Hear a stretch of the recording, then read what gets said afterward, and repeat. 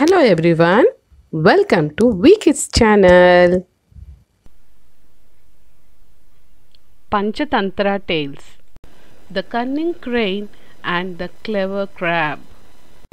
There was a crane who lived near a pond full of fish, but as he was old, it was difficult for him to catch them.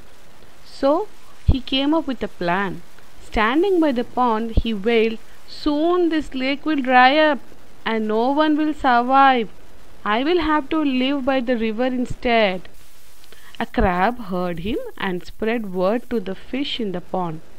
The fish panicked and the cunning crane offered to carry them to the river from the next morning. Every day, the crane would fly to the river carrying a fish in his beak. He would fly a distance and smash the fish against a rock and kill it. He feasted on one fish after another.